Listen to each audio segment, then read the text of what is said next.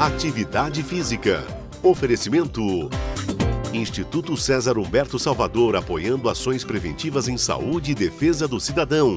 E Total Vida Policlínica. Quem cuida da saúde vive o melhor da vida. Bom dia, Maíta, tudo bem? Meu nome é Juliana, personal trainer.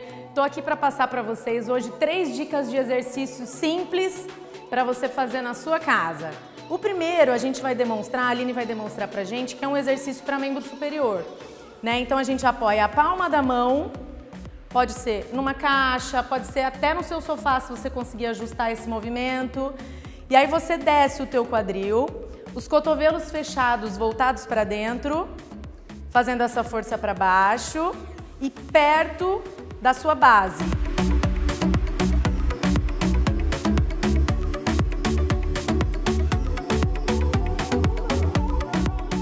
Segundo exercício, a gente pode usar dois em um. É uma subida de escada simples, primeiro com as duas pernas, subida normal. Você pode adaptar esse movimento na sua casa se você tiver escada, no seu condomínio com escada.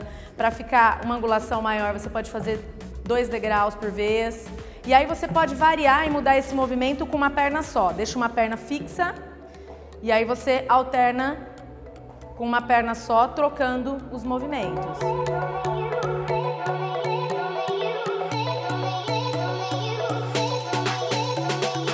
A nossa terceira dica de hoje, de exercícios adaptáveis para você na sua casa, é um, simula é um, movimento que a gente simula uma corrida na horizontal, né?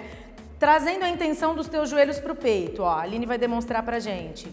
Então, esse movimento traz o seu joelho rumo ao seu tronco, mantém a palma da, das mãos apoiadas na sua base. Assim você trabalha também o seu abdômen.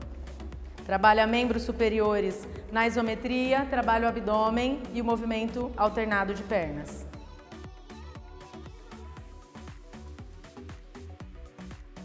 Bom, Maíta, as dicas de hoje foram essas.